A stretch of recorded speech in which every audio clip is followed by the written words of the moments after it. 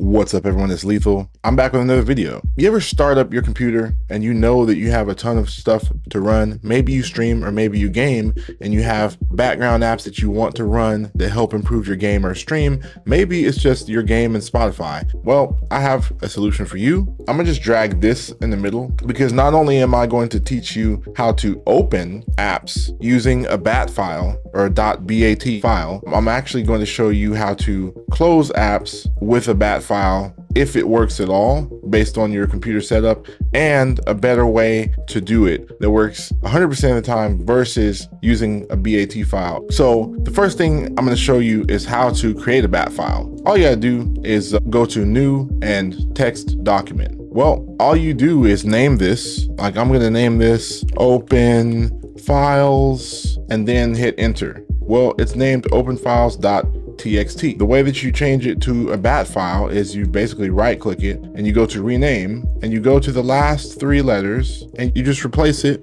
with BAT. Simple as that. Hit enter. It's going to give you this. If you change your file name extension, the file might become unusable. Are you sure you want to change it? Yes. Now, what we're going to do, because this bat file is still technically has text document parameters, meaning if I go to show more options and I go to edit, it's basically a notepad and you can type in commands, blah, blah, blah. And when you right click on this file and run it as admin, I'm gonna hit don't save. If you right click this file and run it as admin, it's going to execute whatever you have in this text document field. So to make it simple, I didn't come up with this method. I really don't know much about it, except for I looked at some YouTube videos and learned it. So here we are.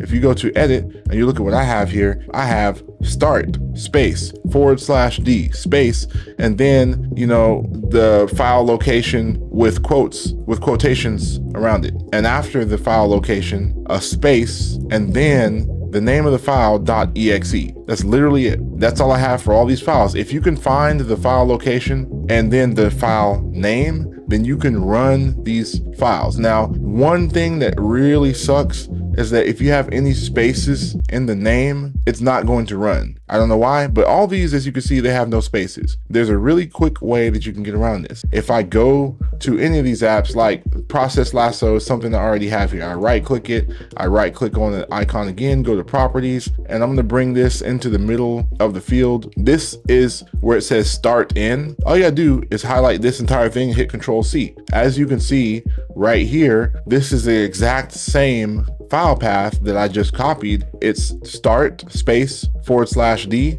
space, and then where it says start in, the file location, boom. And right after that, the name of the actual file is processlasso.exe. So if you go to general, you can actually see details shortcut. All right, if you're having problems seeing the name of the file, all you gotta do is go to open file location and look, process lasso launcher.exe and also processlasso.exe. I'm not doing the launcher when I launch it. I just actually directly launch this file. So I'm launching processlasso.exe. That's the name that I use when I go here at the end of this command line. Now you can simply copy and paste everything that I have here. I'll actually have everything that I have here copied and pasted as a template. And then all you have to do is fill in the file location and the actual file name. Now, if you're having problems launching an app, all you gotta do is right click it and you can literally go to rename. You can rename the file, rename it to something that has no spaces. And actually, after you save it and you put the name of the file with no spaces so that it works, then you can launch it with the BAT file. So I hope that helped. Also, make sure that you type exit, just hit enter one time down one level and type exit. So it's at symbol echo